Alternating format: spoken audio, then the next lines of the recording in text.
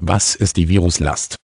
Die Viruslast einer Person ist die Menge eines bestimmten Virus in einer bestimmten Menge einer Körperflüssigkeit. Verschiedene Viren verwenden unterschiedliche Metriken, um die Viruslast zu messen. Eine der gebräuchlichsten ist jedoch die Messung von Viren im Blut, die als Kopien des Virus in einem Milliliter Plasma gemessen werden.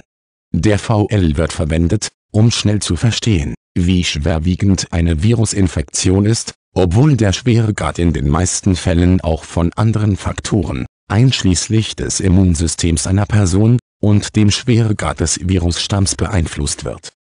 Obwohl viele Viren getestet wurden, wird die Viruslast am häufigsten in Bezug auf Hepatitis B und C, Humanimmunodeficiency-Virus-1 und Zytomegalovirus bestimmt von diesen ist der Humanimmunodeficiency-Virus-1-Viruslasttest der häufigste und ein wichtiger Bestandteil bei der Bewältigung des Lebens mit der Krankheit. Derzeit sind in den USA drei Tests für die Verwendung zugelassen, Nuglisense Human Immunodeficiency Virus 1 QT, Amplicor Human Immunodeficiency Virus 1 und Versand Quantiplex Human Immunodeficiency Virus 1 Ribonukleinsäure im Allgemeinen wird ein Viruslasttest verwendet, um einen Patienten aufzuspüren, von dem bereits bekannt ist, dass er mit einer Krankheit wie dem humanen Immundefizienz-Virus 1 infiziert ist.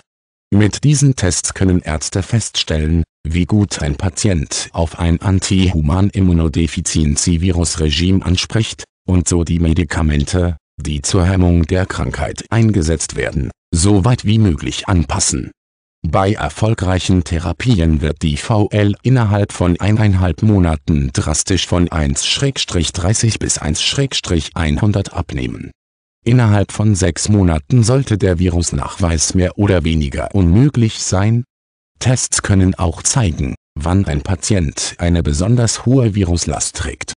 Während dieser Zeit sind sie besonders anfällig für Infektionen mit sekundären Krankheiten, die lebensbedrohlich sein können obwohl die derzeit zugelassenen Formen des Viruslastttests zu kostenintensiv sind, um als Nachweismethoden verwendet zu werden, gibt es einige Techniken, die außerhalb der USA zum Nachweis des humanen Immundefizienz-Virus 1 verwendet werden und wesentlich kostengünstiger sind.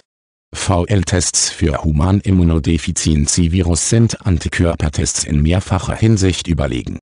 Es ist auch erforderlich, wenn versucht wird, das humane Immundefizienzvirus bei einem Neugeborenen einer Mutter mit humanem Immundefizienzvirus nachzuweisen, da ihre Antikörper im Kind noch vorhanden sind und daher nicht zur positiven Bestätigung oder Beseitigung des Vorhandenseins des Virus verwendet werden können. Der Test der Viruslast für das humane Immundefizienzvirus ermöglicht auch einen viel früheren Nachweis als der Antikörpertest, da Antikörper im System Wochen benötigen können da das humane Immundefizienzvirus in dieser frühen Phase am meisten übertragbar ist, könnte seine frühe Erkennung enorme positive Vorteile für die Verhinderung der Ausbreitung des humanen Immundefizienzvirus haben.